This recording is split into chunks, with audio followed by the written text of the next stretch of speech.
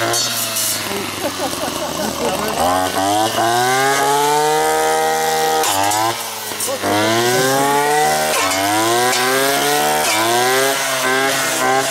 rồi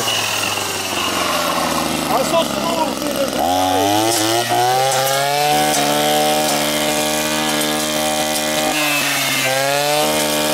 Để không bỏ lỡ những video hấp dẫn off.